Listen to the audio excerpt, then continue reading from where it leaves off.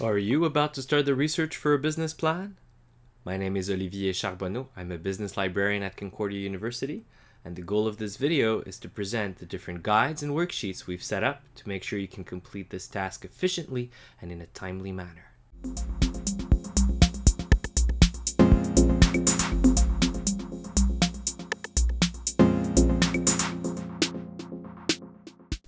Researching a business plan is probably my favorite assignment that I help students with.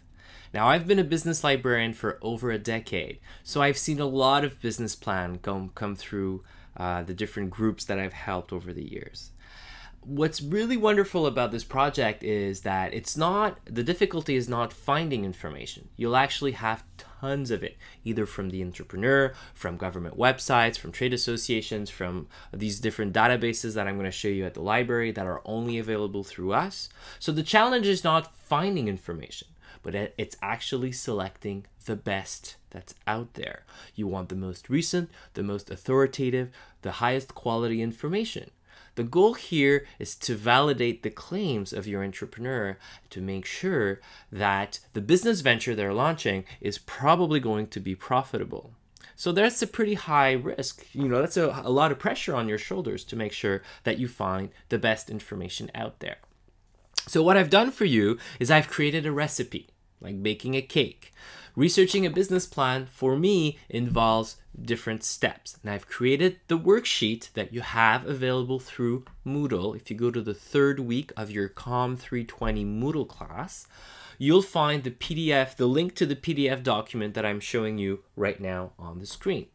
Now, for me, uh, I've done so many of them that I've boiled it down to eight steps that you have to follow. So first of all, step zero that I call because it's like a preliminary step, you have to think about what the business is, the consumers or customers or industry segments that it's involved in, the geographic focus, where is it going to be, what is it exactly. So I want you to do this step zero before you start researching or as you're researching to make sure that you understand, everybody in your group understands what your business is. Then I have eight different steps that you have to follow to make sure that you could find all of the information out there and that you could select the best information to include in your plan. Now, in complement, in addition to the worksheet, I've created an HTML page, a web page that actually shows you the different steps gives you links to the different websites and resources that I highlight. And I've also created videos for you to watch should you need assistance in completing each step in the research process of creating a business plan. So it's also included in Moodle, week three of Moodle. You could click on the uh, entrepreneurship researching a business plan library guide. So the link is, is there. But if you, you can also find it on the free web. So if you go to the library website, concordia.ca slash library, you go to the research guides by subject, right? And as you're clicking there, you go to the general business guide. And actually, the general business guide is where I point out all of the awesome databases that you could use to create your whatever project that you're doing in, the, in your different classes. And so if you're only using Google and you've never checked out library databases, you're missing out big time because the library spends over $5 million on all sorts of stuff that is not available on the free web. That's what a library does. We buy things that are not on the free web. So if you're just using free web resources, you're missing out. Anyways. So what you want to do is to go here under popular guides on the right hand side and you have the COMM 320 uh, entrepreneurship business research guide. So you can always access this from home and whenever. And what I've done is I've created videos that explain each step within the research process, right? So for example, step one is understanding your business. The first thing I have you do is locate your industry classification code, the North American Industry Classification Code, NAICS code, and you uh, could record it on your worksheet. If you need more space, you could use the reverse. I also have uh, this worksheet as a, a file you can edit, and the link is right there on top right here under the cursor. So you could use that. It's a RTF file that you can op open up it with Word or whatever uh, Word uh, text processor that you're using, open source or whatever, uh, and edit it, write it directly. Um, so you could do that. I would recommend that you include steps 0, 1, and 2 in your progress report to show your professor that you've actually started the research for your business plan. And honestly, I would hope that you don't wait until the last minute to do the research because that means you're you're missing out on learning about the industry of your entrepreneur as you meet with them and you're missing out on the opportunity to look smart essentially. Um, so steps 0, 1, and 2 I would include in your progress report. And for IBISWorld, I would just put the executive summary page. You'll you'll you'll understand what I'm talking about as you're going to watch the different videos and do the different steps. Now, just a little point here, it's possible that not all the steps work for your specific project. The first few steps will work for pretty much all of the projects, but some of them, especially the later ones like finding government information or uh, market and consumer data, may not be so useful. Like, for example, for market and consumer data, it's possible that you're doing a, a, a project on um, uh, manufacturing companies and you're not targeting consumers directly. Yeah, there is a final demand category. Let's say you're a shoe manufacturer. Yeah, somewhere so down down the supply chain you'll hit consumers. So yeah, okay, it may be interesting to know what is the consumer spending on shoes, but you're maybe more concerned about distributing issues, uh, inventory management, and other issues like that that will have a greater impact on your business. So these steps are important ones, but not all of them are necessary because you may it may not be applicable to whatever project you have. So that's just a little bit of, of uh, insight. Um, another thing you should know, for example, is back here on the top, we have available to you at any time different help tools. So for example, we have a live chat line should you want to chat with a librarian and I actually participate in rotation with the live chat system with my colleagues. Um, you could chat with a librarian and you have the open hours uh, there. It's from 11 a.m. to 7 p.m. You can chat with a librarian. Um,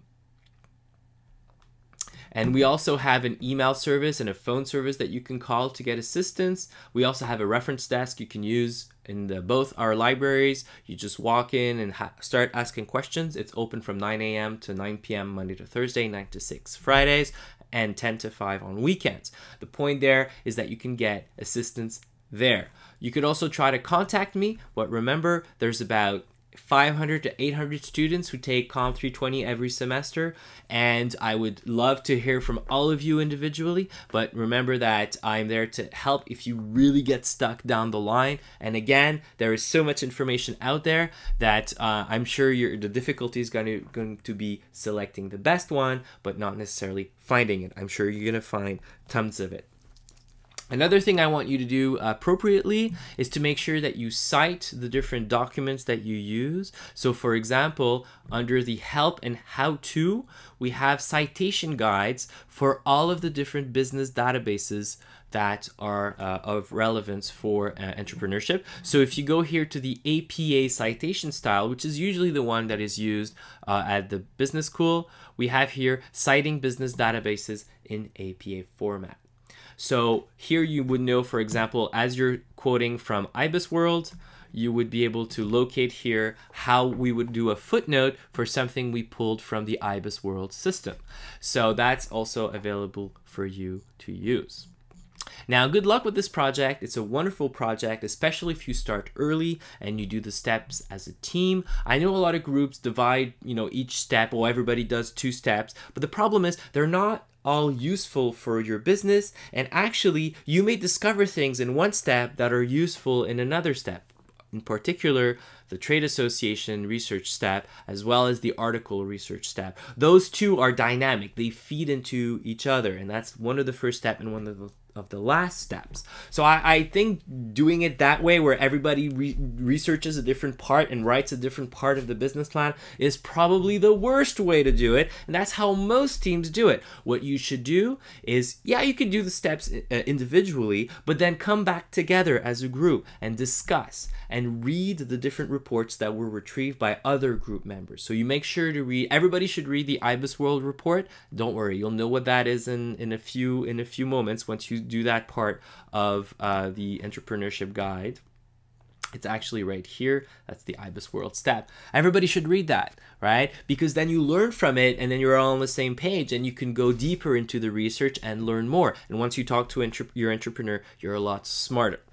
So I'm going to stop here. I'm going to let you enjoy the different videos and systems that I highlight for this project. I wish you all good luck. It's a great project. I hope you start early and work through the different steps throughout your semester. And remember, include steps 0, 1, and 2 in your progress report to show your professor that you are doing a great job as a researcher and you're going to find the best information out there.